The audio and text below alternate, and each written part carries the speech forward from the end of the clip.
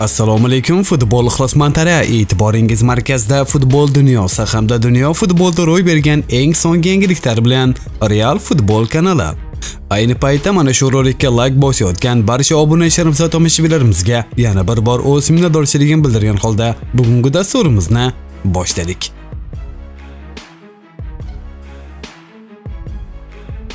La Gazzetta dello Sport Shomurodov Jenovaning yaxshi kelajakka bo'lgan so'nggi umidi.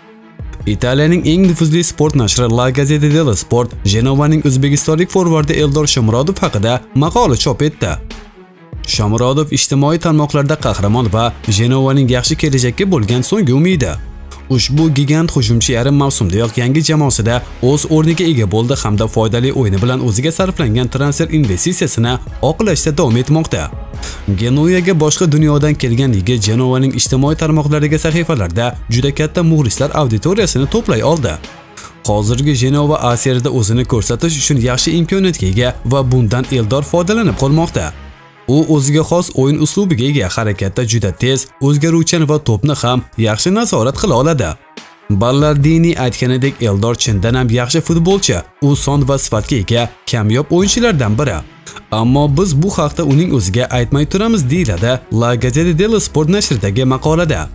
Eslatib o'tamiz, Toto Sport nashri Eldor Shomurodov A seriyaning amaldagi chempioni Juventus safiga o'tishi mumkinligi haqida xabar bergandi. Nashrda qayd etilishicha, Turin klubi sport direktori Fabio Paratachi jamoa safida ijara asosida to'p surayotgan Alvaro Morata o'rniga Shomurodov nomzodiga qiziqqan. Jenova prezidenti esa Juve rahbariyati bilan yaxshi aloqada ekanligiga qaramay, o'zbekistonlik forvardni mavsum yakunigacha hech qayerga qo'yib bormoqchi emas. Ma'lumot uchun o'zbekistonlik 25 yoshli forvard o'tgan mavsumda Rostovdan Jenovaga 7.5 million yevro evaziga o'tgandi. Eldor Italiya A seriyasi joriy mavsumda 11 o'yinda maydon kuchib, 2 gol va 2 assistga mualliflik qilgan. 25 yoshli forvard so'nggi 3 o'yinda jamoasining eng yaxshi o'yinchisiga aylandi. Futbolchining genuyanliklari bilan amaldagi shartnomasi 2025-yilga qadar imzolangan. Eslatib o'tamiz, kommentariyada yozilgan omad silkasi orqali o'z omadingizni sinab ko'ring. Real Food sehrli so'zini kiritib, 100 dollargacha bonusga ega bo'ling. Real Futbol sizga omad tilaydi. Real sobiq direktori Ramos ketmasligi kerak. Madridning Real klubi sobiq bosh direktori Jorge Valdanoning fikricha, jamoa sardori Sergio Ramos Madridda qolishi kerak. Menimcha, shartnomasini uzaytiradi agarda Ramos boshqacha qarorga kelsa, bu ikki tomon uchun ham foydali bo'lmaydi. Bunday holat oldin ham bo'lganda. Ronaldo Juventusga ketdi va Real Yevropa Chempionlar Ligasiz, Cristiano esa oltin to'psiz qolmoqda. Shu sababdan Ramos shartnomani uzaytirish tarafdoriman dedi Valdano. Hozirda Ramosning xizmatlariga Liverpool, PSG va Manchester City kabi klublardan qiziqishlar bo'lmoqda. Chelsea Real forvardiga ko'z tikkan. Londonning Chelsea klubi Real hujumchisi Vinicius Junior xizmatlariga qiziqish bildirmoqda. Aristokratlar 20 yoshli braziliyalikni klubni 1 yil oldin tark etgan Eden Azarga o'rinbosar sifatida ko'rmoqda. Bundan avvalroq Qirollik klubi murabbiy Zidan Viniciusni qishda ijaraga berish haqida xabarlar tarqalgan edi. Ma'lumot uchun futbolchi joriy mavsum 15 ta uchrashuvda 2 ta gol va 1 ta assistni qayd etgan. Kumanning hafsalasi pir bo'ldi. Barselona bosh murabbiyi Ronald Kuman qishki transferlar vaqtida o'zi kutayotgan futbolchilarni qo'lga kirita olmasligi mumkinligini e'tirof etdi. Ayni paytda Kuman Memphis Depay, Jorginho Wijnaldum va Erik Garsiani o'z shogirdlari orasida ko'rmoqchi. Ularning hozirgi klubi bilan shartnomasi yakunlanayotgani bois arzon narxga transfer qilish mumkin. Masalan, Depayni olish uchun 7 million yevro kifoya. Yaqin kelajagimiz uchun bu transferlar juda muhim. Tarkibni yaxshilashimiz kerak. Men hamon ba'zi pozitsiyalarni kuchaytirish tarafdoriman, lekin klubning ahvolini ham tushunaman. Bu gal hech kimni xarid qila olmasa, keyingi transferlar mavsumini kutishimizga to'g'ri keladi, dedi Kuman. Ma'lumotlarga qaraganda Barselonaning moliyaviy ahvoli o'nglanmagan va klub yangi o'yinchilar uchun yetarli darajada mablag' ajrata olmaydi. Kutilganidek Juventus Jenova futbolchisi bilan shartnoma imzoladi. Juventus jamoasi Jenova yarim himoyasi Nikolo Ravella bilan shartnoma imzoladi. Bu haqda Fabrizio Romano xabar bermoqda. Ma'lum bo'lishicha, turinliklar yosh futbolchi uchun 10 million yevrodan voz kechgan. Nikolo genuyaliklar tarbiyalanuvchisi hisoblanadi.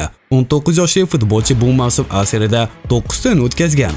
Avvaro Keysi Sinora Jenovaning boshqa futbolchisi Eldor Shomurodovni o'z safiga qo'shib olmoqchiligi haqida xabar bergan edik.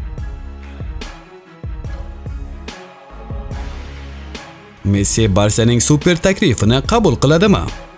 24-yanvar kuni Barselonaga yangi prezident saylanadi. Rahbarlik kursini ko'zlayotgan saylovchilarning ishonchini qozonish uchun turli va'dalarni bermoqda. Kimlardir prezident bo'lsa Kataloniyaga Neymarni qaytarishini aytmoqda. Boshqasi Kylian Mbappeni, yana biri Erling Haalandni olib kelishni ta'kidlayapti. Nomzodlardan biri Viktor Foy saylovda g'olib chiqish uchun Lionel Messi nomidan foydalanishga qaror qildi. U taklif qilayotgan loyiha Messining tarafdorlariga juda xush kelmoqda. Messiga bir umrlik shartnoma taklif qilish ideal variant. Avvalo biz uni bir necha yil jamoada o'ynaydigan futbolchi sifatida klubda olib qolishimiz kerak. Futbolchilik faoliyatini yakunlagandan keyin yaxshi lavozim beramiz, chunki u klubga ko'p narsa bera oladi deydi Viktor Foyt. Lionel Messining Barselonadagi kelajagi hamon mavhumligicha qolmoqda. Uning shartnomasi yozda yakunlanadi Argentinalik hujumchi qarorni mavsum yakunlangach e'lon qilishini bildirgan. Ronaldoning kecha Realga qimmatga tushdimi? Real Madrid klubi portugaliyalik hujumchi Cristiano Ronaldo jamoadan ketgach, sezilarli darajada kam gol urmoqda.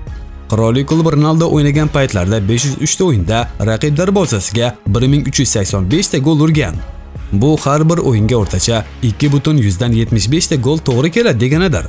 Cristiano jamoani tark etgach esa Real 241 ta o'yin o'tkazdi va ularda 136 ta gol urdi. Bu bitta o'yinga o'rtacha 1.177 ta gol to'g'ri keladi deganidir. Aniqroq qilib aytganda Ronaldodan so'ng Realning samaradorligi 35.6% ga kamayib ketgan. Eslatib o'tamiz, Real Ronaldoni 2009-yilda Manchester Uniteddan sotib olgan edi. U 2018-yilga qadar madridliklar sharafini himoya qildi va shundan so'ng 117 million yevro evaziga Juventusga ko'chib o'tdi. MU PSG Pogbaning narxini e'lon qildi. Avval xabar berilganidek PSG o'z safiga Manchester United habiga Paul Pogbani qo'shib olmoqchi. Buni shaxsan jamoaning yangi bosh murabbiyi Mauricio Pochettino xohlamoqda. Leon Sport tarqatgan xabarga qaraganda qizilbeklar ham agar 27 yoshli futbolchi uchun 83 million yevrolik taklif bo'lsa, uni ko'rib chiqishga tayyor. Shu sababli ushbu transfer yanvarda amalga oshirilishi mumkin. Paul Pogba joriy mavsum Angliya Premier Ligasida 13 o'yinda maydonga tushdi va o'z hisobiga bitta gol yozdirib qo'ydi. Uning MU bilan amaldagi shartnomasi 2022-yilga qadar imzolangan.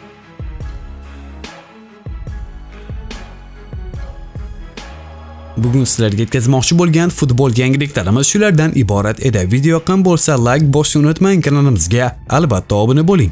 Xayr, salomat bo'ling.